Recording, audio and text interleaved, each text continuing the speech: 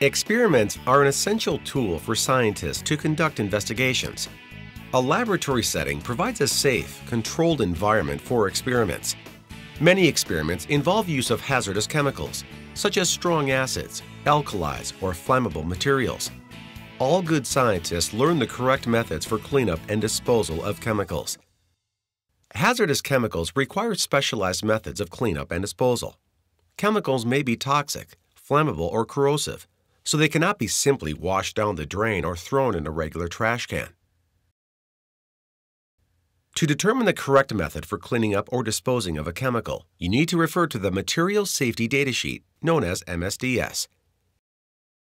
In addition to cleanup and disposal information, the MSDS contains information about the substance's physical and chemical properties, its uses, reactivity, potential safety hazards, and the appropriate protective equipment necessary for safe handling of the substance.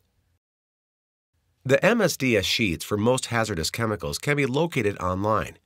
Each chemical stored in your school and used in lab experiments requires a hard copy MSDS for immediate reference if needed. Certain chemicals will contaminate the water supply if they are poured down the drain. Other chemicals may create a fire hazard when thrown into the trash. You will need to address other safety concerns when cleaning up or disposing of chemicals. The MSDS has procedures for dealing with the various possibilities.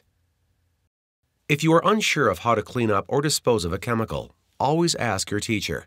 You could create a hazard by trying to improvise and do it yourself. Your teacher will have training to handle chemical cleanup and disposal in a safe and controlled manner. By asking a teacher how to dispose of or clean up chemicals will help to prevent accidents or safety hazards. Chemicals can pose safety and health risks, but the laboratory is safe when you follow the proper procedures for handling and disposing of chemicals.